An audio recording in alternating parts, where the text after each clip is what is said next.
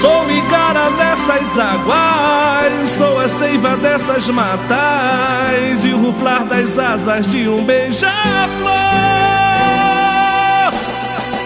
Eu vivi em plena harmonia com a natureza, mas num triste dia o cara e o invasor no meu solo sagrado pisou. Estamos aqui com o Dr. Wilson Campos, advogado pela OAB Minas, defensor ardoroso, inclusive na perspectiva jurídica aqui da Mata do Planalto. Doutor Wilson, para ficar bem claro, quais são os pedidos que você colocou lá na ação popular, sobre qual temos uma liminar, inclusive decisão em segunda instância, desembargador do Tribunal de Justiça, requerendo sobre a Mata do Planalto aqui?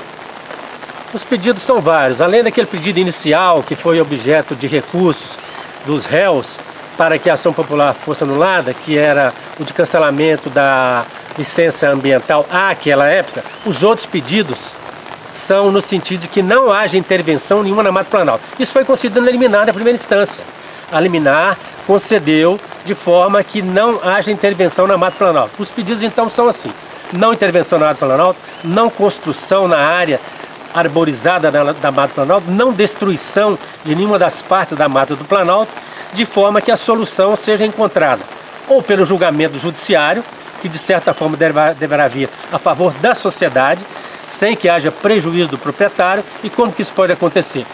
Basta que o município cumpra o que foi prometido pelo prefeito, que haja uma solução para que a Mata Planalto seja de fato intocável e que não seja parcelada ou fatiada. Isso não interessa à sociedade, porque esse fatiamento, esse parcelamento vai prejudicar a fauna, vai prejudicar a flora e com certeza vai destruir as nascentes que serão pisoteadas ou esmagadas pelo trânsito de caminhões e tráfego de materiais que serão alocados para a construção de prédios ali. Não queremos os prédios, não queremos estacionamento e não queremos nenhum tipo de empreendimento imobiliário na área total da Mata do Planalto. Esse é o desejo da sociedade que temos visto até agora. Em todas as manifestações, em todos os eventos, essa é a vontade da sociedade belo-horizontina.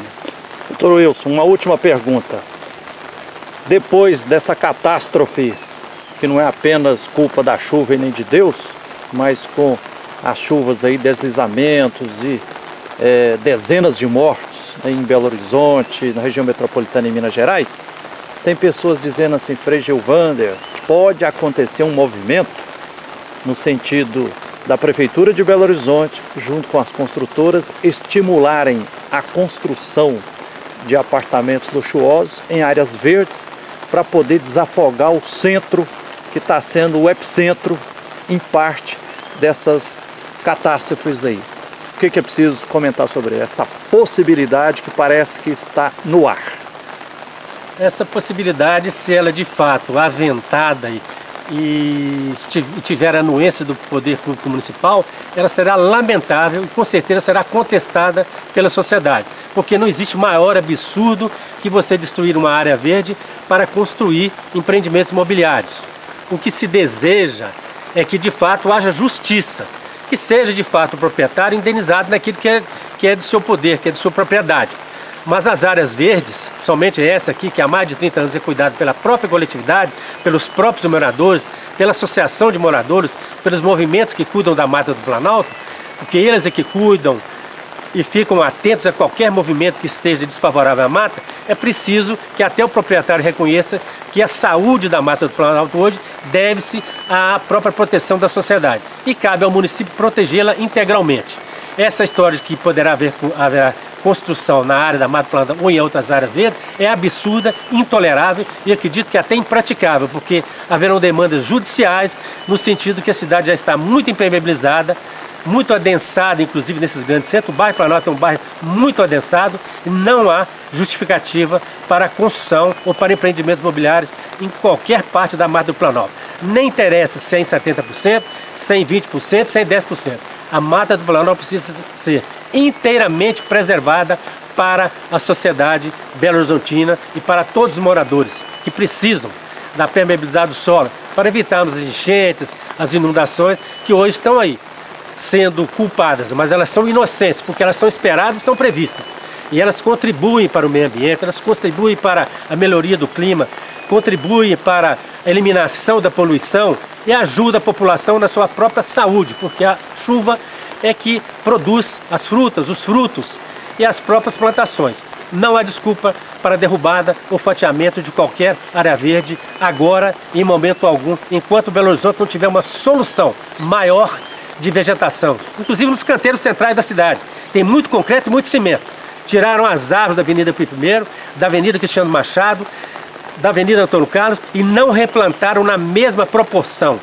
Hoje estão tirando 5 mil árvores, estão plantando 2.500, tiram 10 mil e plantam 5 mil. O déficit da Prefeitura Municipal, dos órgãos da da Prefeitura, é de 50%. Estão devendo 50% a mais de plantação de árvore. Tirar aqueles canteiros centrais que estão concretados, colocar grama e plantar árvores nativas que sejam próprias para aqueles canteiros e plantar mais árvores de porte e também nativas apropriadas em Belo Horizonte para compensar aquelas 10, 15, 20 mil que foram tiradas em 2014, que foram para a passagem do BRT móvel, dos ônibus, na gestão do prefeito Márcio Lacerda.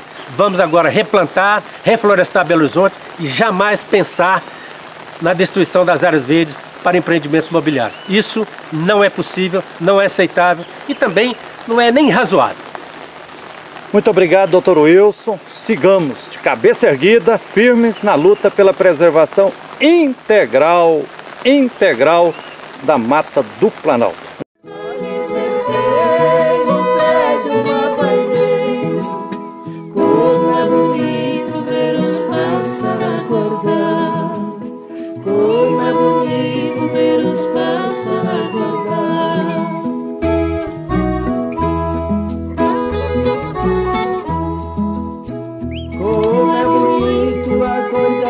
É passarinhos